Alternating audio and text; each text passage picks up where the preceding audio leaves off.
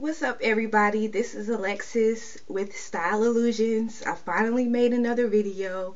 Um, I know I've been slacking. I had some skin issues. So many excuses I made not to do another video. But here I am back with another wig review. Um, I hope everybody had a good holiday, a good new year.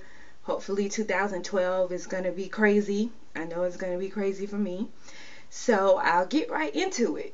This wig is Madison by Hair Sense. And I really wanted to do a review of this wig because the picture that comes with the wig doesn't do the wig any justice at all. I was so impressed with this wig when I took it out of the package. Um, I was looking for a wig for the holidays to wear um, visiting family and all that, and I needed a new style, so I picked this one. And first off, when I took it out the package, my immediate thought was, you know, is this human hair? Did I read the package wrong? Because the texture was so uh, matte. It was not shiny at all. Um, and this is a color one. And I don't know if it looks dark to you guys, but to me, it's not a super jet black like I would imagine a one to be. Uh, but it was so matte, it looked it looks like human hair to me. And I went and looked at the other colors um, of the wig. There's a 1B purple and a 1B27, and the other ones look just like it. They are matte, uh, they're not shiny, and they are the the the texture quality is fantastic. I was really really impressed with Madison.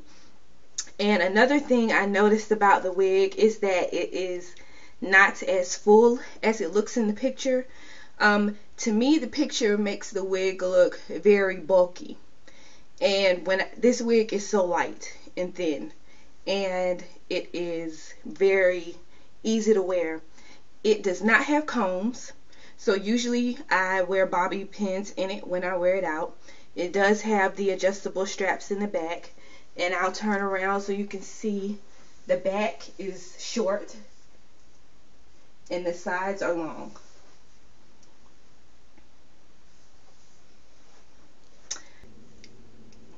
And I really, really like this wig because it can get messy. Uh, I have it brushed down pretty smooth right now, but a lot of times I like to mess it up and just uh, let it look really wild. The top is cut in layers. I'm not sure if you can see, but um, it's really fun to mess up and shake and play with. Um, it reminds me of a really cool haircut. Um, usually I see Caucasian girls with this haircut, uh, but it's really, you know, long bangs, PC at the top.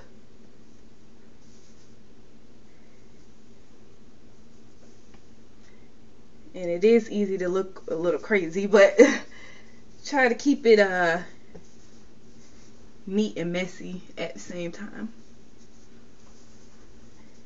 It goes either way.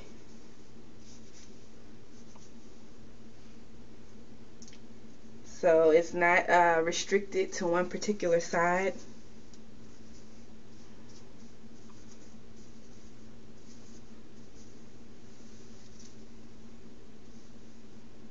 I'm just showing you uh, what kind of layers are cut into it.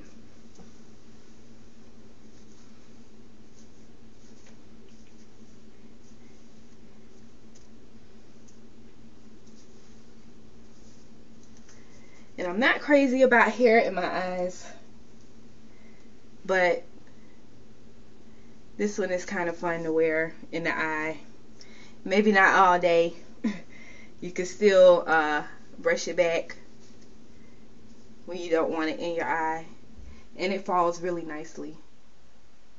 And if this one looks a little shiny it's because I've been wearing it for a couple weeks now and I need to wash it but I really really love it. And like I said this type of haircut I don't always see a lot as many black girls with that kind of cut.